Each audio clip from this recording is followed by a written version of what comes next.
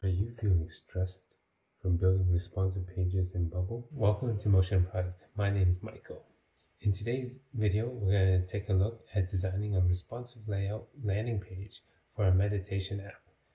We're going to be taking a look at some layout tips and tricks and best practices on laying things out and designing within Bubble, and hopefully these tips can help you in your own design process as well. To make it easier to reference colors that I've used for this um, landing page of, of neutral tones and oranges and browns, I added them to settings as my default palette. I found my meditation themes images on Unsplash and to create this block here and this image here, I put the image into remove background to remove the background. Next, I'm choosing a serif font to elevate a brand a little bit. And here I'm using Playfair Display, which pairs well with Inter, which is the default font the Frames extension. And then use the styling properties to configure the designs to look the way I wanted to look.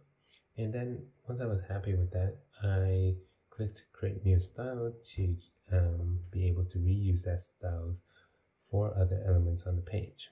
To make the header have a white background, once we start scrolling, I set a condition to change the background header once the user has scrolled more than 80 pixels. I've also, I've also added a transition to ease in the color change in the final product. To get the header and footer to go full width, but the other elements to stay within the container, I made the width uh, when stretched to be 300%. To handle the gap between the heading and the text, I went to the property editor and when you click shrink height when text is shorter, Bubble will figure it out and remove the awkward spacing. That's it. I kind of landed on this next tip by accident, but you can use negative position in Bubble to lay out your elements. For example, if you push things off on the left hand side, you decrease it by, by the number of pixels you wanted to do. In this case, is minus 20 pixels. And if you wanted to push it off the main container on the right hand side, you would add 20 pixels. I moved the bottom element uh, up to cover the woman's light, so she's actually sitting on the problem. Oh. Are we all sitting on our problems? Now, for the animation of the text, I created a workflow to trigger the animation on page load. You can get fancy by linking this animation to activate uh, depending on how much the user has scrolled. So this would be useful if you wanted to trigger um, animation later on in the page. But I'll leave that to you to make your own page more awesome than this page. Now, putting it all together, a good landing page should tell a story that will benefit the user. We start off with the hero to explain what, and what this app is in a sentence. Now we hit you with the problem and we say that we know how that can make you feel. Then we hit you with the solution. And if you don't believe us, here's some social proof via a testimonial.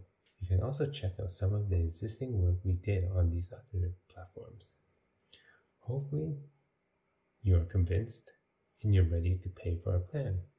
But if you're hesitant and have some questions, don't worry, we have them answered in this frequently asked questions area.